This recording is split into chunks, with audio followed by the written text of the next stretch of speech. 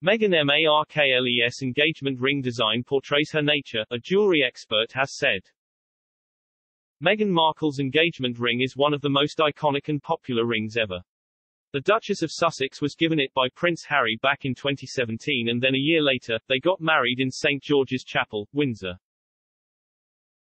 Express spoke to Nilesh Rakolia, the director at ABELINI Jewelry about Meghan's diamonds. Prince Harry designed Meghan's engagement ring himself, and he allegedly proposed during one of their trips to Botswana.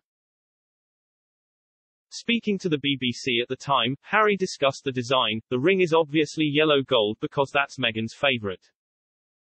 The main stone itself I sourced from Botswana and the little diamonds on either side are from my mother's jewelry collection, to make sure that she's with us on this crazy journey together.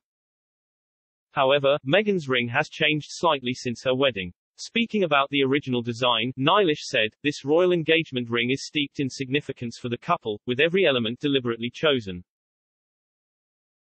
A 3-carat cushion-cut diamond takes center stage on the Duchess of Sussex's engagement ring, surrounded by two other diamonds set on a yellow-gold band.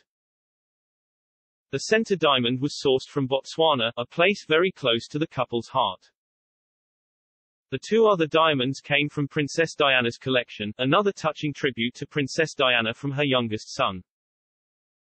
She added, representing a rich history, it is only fitting that the wearer of a cushion-cut diamond isn't afraid to look back to the past when moving forward. The cut of this diamond also creates a kaleidoscopic look when hit with light, representing the unique and complicated nature of the person who wears it. It first became apparent that Meghan had changed her engagement ring when she attended the Queen's Trooping of the Colour in the summer of 2019, taking a break from her maternity leave. The three central diamonds on the ring remained unchanged, but the plain gold band was upgraded to a diamond eternity band. No statement was made by the royal couple at the time, but it's said that she changed it to match an eternity band Prince Harry gifted her upon the birth of their son Archie. The eternity band Meghan was gifted was also designed by Harry alongside jeweler Lorraine Schwartz. It is said to incorporate the growing family in the form of Meghan, Harry, Archie and later Lilibet's birthstones. As for how many carats Meghan's rings are, jewelry experts estimate the central diamond to be 3, while the other two are 1. 5 each, making the ring 6 carats in total. However, with the addition of the newer diamond eternity band, it's probably around 7 carats in total.